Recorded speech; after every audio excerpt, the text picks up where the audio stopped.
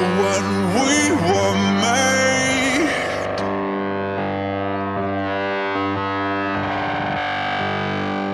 It was no accident.